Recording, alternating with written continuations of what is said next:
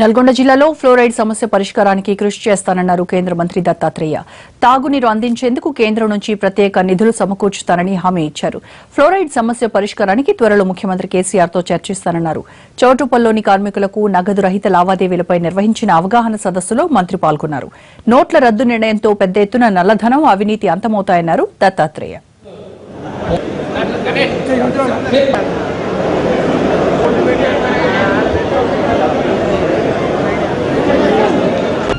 ఏదైతే surface water అవుతుందో ఈ ఫ్లోరైడ్ బాధితమైనటువంటి ఏరియాల్లో వాటికి రాష్ట్ర ప్రభుత్వం అత్యంత ప్రాముఖ్యతనివ్వాలని నేను ముఖ్యమంత్రి గారిని కూడా కలుస్తాను. కలిసి ముఖ్యమంత్రి గారితో కూడా చర్చిస్తాను. ఈరోజు భారతీయ జనతా పార్టీ రెండు జిల్లాల యొక్క అధ్యక్షులు ముఖ్య నాయకులు వాళ్ళందరూ కూడా ఈ విషయం మీద నాతో చర్చించారు.